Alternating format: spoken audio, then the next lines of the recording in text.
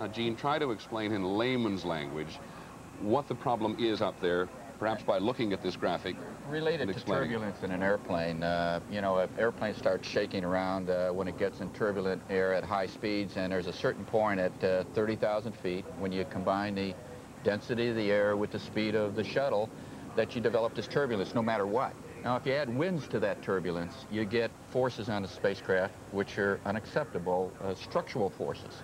And what happened, of course, up there at 30,000 feet this morning was that they had winds coming from one direction, which they had programmed into the computer, which they had anticipated, in a sense, in their flight model, and they got winds from the other direction, measuring the winds, measuring the velocity of the winds, returning that information down to Earth to mission control at the Johnson Space Center in Houston, Texas. It then goes through an inordinately complicated computer procedure.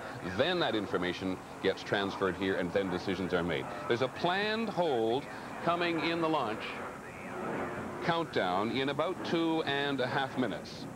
And we will be back right after these messages as Discovery sits on the pad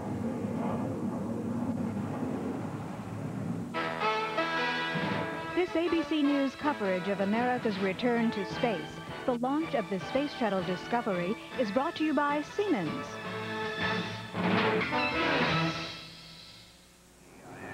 Half hour. Back at the Kennedy Space Center, let's go briefly to launch control. The uh, nine-minute hold is normally a 10-minute uh, one. However, we can hold at this point for a considerable length of time. Just want to reacquaint you here now. That's launch control here at the Kennedy Space Center. That's Hugh Harris, who is the voice of launch control. You'll hear him a lot as we get closer to the launch, and then basically he'll handle the launch for us. But it's been so long in many respects since we've been here for a launch in this form that perhaps it's useful to reacquaint ourselves and everybody else with what actually happens. That's launch control here at the Kennedy Space Center, and they have control of this mission until the shuttle clears that enormous launching pad, and then it's taken over by Houston. Hugh Harris was telling us just a minute ago that we're approximately 30 minutes behind and that was caused by some of the minor delays this morning which occurred on the ground. We still haven't heard all of the news yet about the weather, but that enormous external tank has been filled with its liquid hydrogen and its liquid oxygen. That is the red or brownish tank you see in the middle right behind the shuttle. They're T minus nine minutes and holding. The reason, by the way, that tank is not white like the two outboard fuel tanks and the shuttle itself is simply to save weight. I think it's about 600 pounds of paint it takes just to paint that thing, so they've left it off. And of course, it has got all of that fuel, which will take them all the way, hopefully, to their first orbit today. Now, we've been talking about machinery so far, and I suppose that's inevitable in terms of Challenger. It's been a long 32 months since the Challenger explosion. I said we've got the most experienced crew uh, that has ever gone into space. Let us have a look at them. Let's meet them with ABC's Lynn Sherr.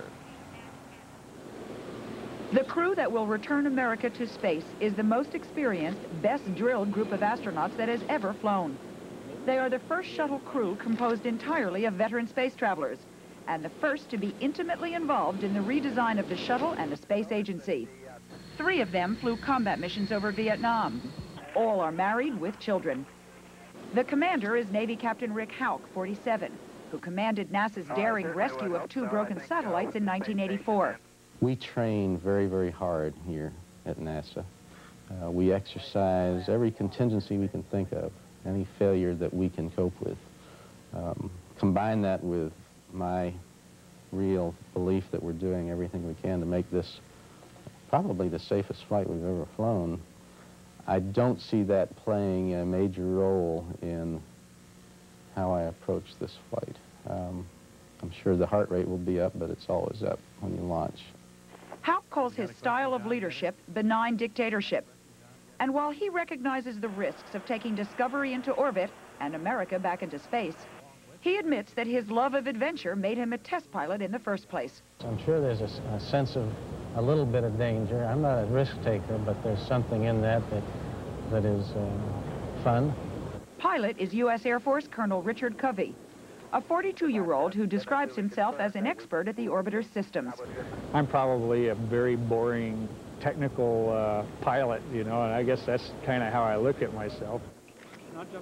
Of the three mission specialists, Dave Hilmers, 38, a lieutenant colonel in the Marine Corps, will serve as flight engineer, sitting behind Hauck and Covey on the flight deck. I think that, you know, if I look at my innate talents, I'm, I'm probably a fairly mediocre type person, but I, I like to believe that with what God has given me, I've done the best that I possibly could. Mike Lounge, a 42-year-old former Navy flyer, will help launch the communication satellite Discovery is carrying, a task he performed on a previous shuttle mission. And astronaut Pinky Nelson, 38, the only crew member without military experience, will also launch the satellite and carry out some of the experiments on board. This job is absolutely perfect for me. I love being an astronomer, trying to, uh, you know, drag secrets out of Mother Nature is a, is a wonderful occupation. Together, these five men have seven shuttle flights among them and have been training for this mission on Discovery for more than 20 months. Uh, there's something else about this crew, too. They are, I think, perhaps the most serious crew that I've interviewed ever in all my years of covering the shuttle flights. You know, these fellows really do have the right stuff. They're all trained, they're all veterans, but they didn't sit up there on the stage and they haven't swaggered around the center here with that kind of cocky, oh gosh, we're not afraid of anything attitude. All of a sudden, everyone here at NASA is much more sobered as a result of the accident, uh, and these gentlemen really reflect it. Peter? Thanks very much, Lynn. We'll be back to you shortly because Lynn is out there quite some distance away from the pad today because the Air Force has decided it's going to restrict the number of people who are as close as we have the good fortune to be. And Lynn is out there with all of the VVIPs, we call them, the very, very important people. Now, here's one of the weather planes uh, that's been up and out today. And, of course, one of the other things that they've been doing now is checking the landing site here at the Cape itself because when Discovery takes off, and if those engines fail, it has a number of options for returning to Earth or getting into orbit. But one of its very first options is its commander, Rick Hauck, turning it around or trying to turn it around to get it back to land here at the Kennedy Space Center itself. And so that flight is out there this morning just checking the winds on the runways here at the Cape. Lynn Sherr was talking about experience. Uh, let's go to Houston now and meet more of our experience. Joining us now is ABC's Mort Dean, uh, who has been uh, reporting and commenting on space for a long time, and Joe Allen, the Apollo astronaut. Joe, I think none of us will ever forget what you looked like, little fella that you were, holding that enormous satellite in space. Welcome, both of you. How's the mood in Houston this morning? Well, first of all, I think he's made us appear older than we Yes, really yes. are, but thank you anyway. Only you, Mort. I, I think the mood is pretty much uh, the same as it is uh, where you are. Uh, there's a mood of excitement. People are ready to celebrate. Uh, they're exhilarated, but they're also very, very nervous. Joe? Well, I would agree. It's uh, uh, a, a game of waiting here with us right now. We've, we've seen this before. We've been very successful with it before.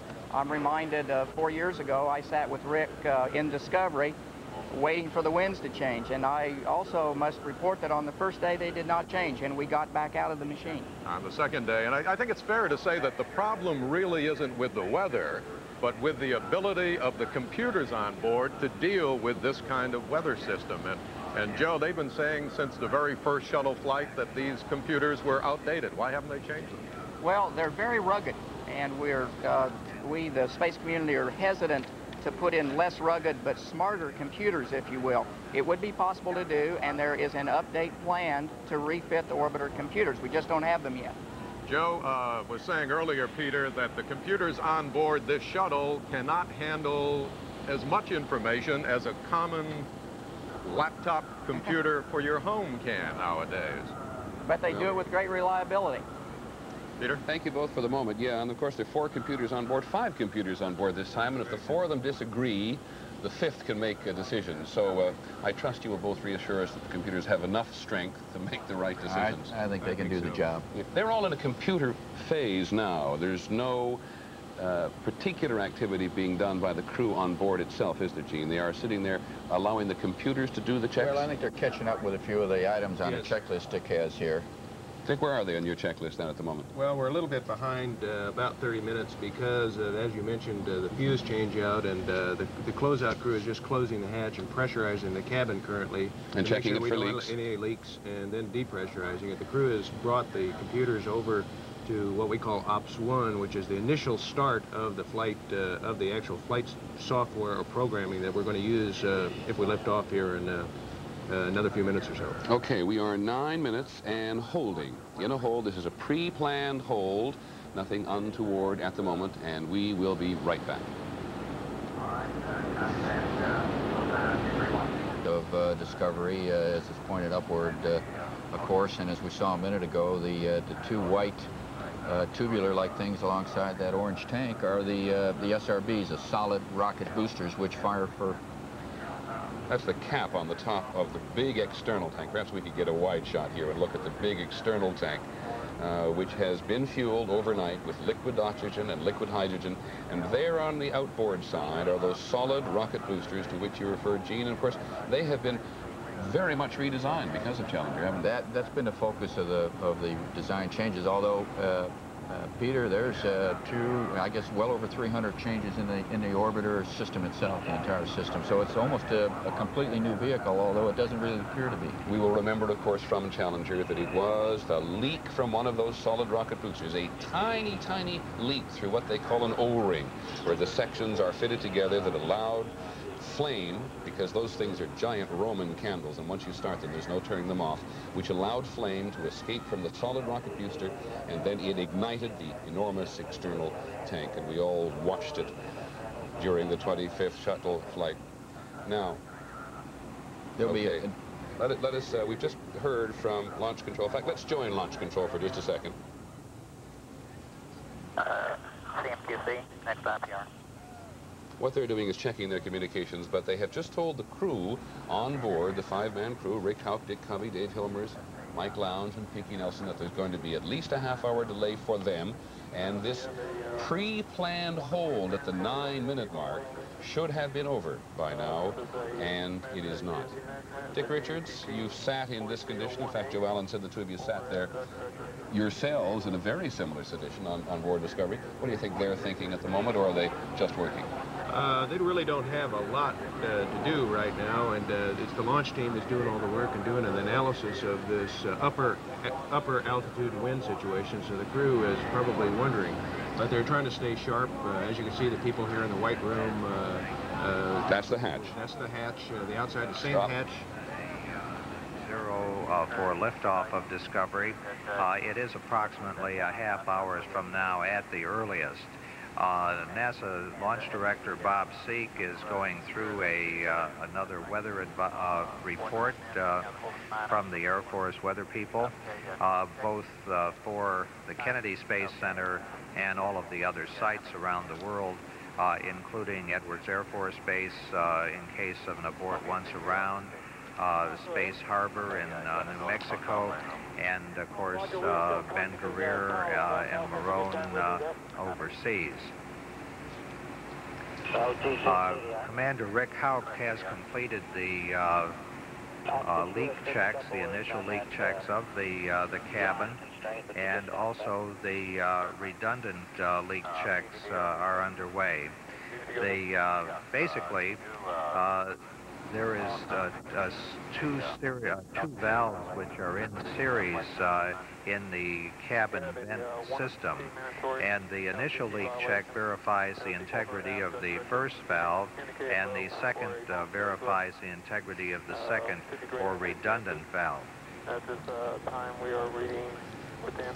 Hugh Harris is just now bringing us up to date and makes the point that it's going to be about a half hour now before it happens. And we do have a window here today, and that window ends at 1:41 Eastern Time, and it will end because it's some of those alternate landing sites in other parts of the world which the Discovery could use if they were forced to abort, if one of the engines failed, for example. It will get dark, and there they are, Edwards Air Force Base in California. After once around, if they get into orbit, Kennedy Space Center, they could come back to meet. It's the first choice. And then overseas at Morón in Spain, Ben Guerir in Morocco, and on the west coast of Africa at Banjul in the Gambia there are alternate sites which are all prepared, and the weather's got to be right. For example, at Morón in Spain today, farmers are burning their fields on the edge of the runway that Discovery might use in the case of an abort, and the smoke is blowing on to the runway. You Never uh, ask a farmer not to proceed with his crops, even on such an important occasion as this. But what we're going to do now is go away for a bit because the period of hold we now know to be at least half an hour. So bring us up to date very quickly, Dick and Gina. What do you think is going to happen in the next half hour? Well, the activity for the next half hour is really to get this leak check done, get the hatch buttoned up, get everything out of the white room, get all those people back to the roadblock. From that point on, we're just waiting for the upper altitude winds to see where we stand. We haven't. We should have heard something about the weather by now, Gina. No, we haven't. Our spies tell us it's getting a little bit better, so we're a little optimistic. At least I am. Uh, uh, but I, I, I sense a feeling of conservatism. There is some time here. They're taking 30 minutes. Maybe it'll be 40. I don't know. Uh, we've got until after 1 o'clock this afternoon. Make sure everything's right. Of course, those winds come in. We'll pick it up at 9. Once we pick it up at 9, we're either going to go or the abort, or if there's a scrub, it'll be a scrub for at least another day. Yeah, but the thing, as you begin to point out here, is that there is there is a new conservatism, and Lynn, and Lynn Sherr pointed out there's a new sobriety here about safety. Yesterday in that final pre-launch news conference, every one of them made exactly the same point, that there's a, there's a whole new chain of command because this rocket has been redesigned, but NASA has been restructured and reorganized in many cases. And before the decision is made by Dick Crippen, John Crippen, up at the top, to go or not to go, there's a whole chain of command of people underneath who are watching every element of this flight. And they have gone out of their way to say, sure, there's pressure from the public, sure, there's pressure from the media, for America to get back into manned space. But what they want more than anything else on this mission is a safe mission. Keep it hasn't got many complicated things to do in this it, mission, it's do a test flight of the whole system. Uh, you know, th this whole country's got something at stake, and, and I think that's why the anxiety is a little different this time. Uh, I, quite admittedly, I feel it. I, this has to be a success. This country needs it. We have to get rid of the burden, the guilt we've been carrying about shuttle and get on with it. And I think that's what you feel. That's what you sense. I, even see it in the news media out there. I must confess, as a member of the news media, I feel it. I drove into Cocoa Beach last night, and the signs outside the motels and the grocery stores and everything else are exactly as they were back in the 1960s when we came down here to cover Gemini and Mercury. There is some of that same feeling as almost if people could urge the space program to get going again. Do you feel it in NASA, Dick, or is it, is it, is it very conservative, as Lynn suggests? Well, I feel the sense of uh, pride that we're actually going to get back in the flight business. Uh, two and a half years is a long time for uh, for some uh, very motivated people to be sitting on the ground. But uh, I echo your earlier comments, the fact that uh, we're not going to launch this thing until we're ready and we're sure that it's safe. This upper altitude wind situation is very serious, and we're not going to compromise any factors of safety. Well, we will be back. We will be back, both of you. Thank you very much. We'll be back. The Earliest it's considered they can launch. The latest would be shortly before 2 p.m. Eastern Time. The astronauts are ready, the shuttle is ready, NASA is ready. They're just waiting, still waiting, for word that the wind speeds have picked up enough and the wind direction has shifted enough in line with what the Discovery computers have been programmed to handle. The Discovery crew members have been told to hang in there. They and we will be doing just that we're here waiting to let you know if and when the countdown resumes and the winds are right. 11:20 Eastern Time, now the e the earliest time that they will launch.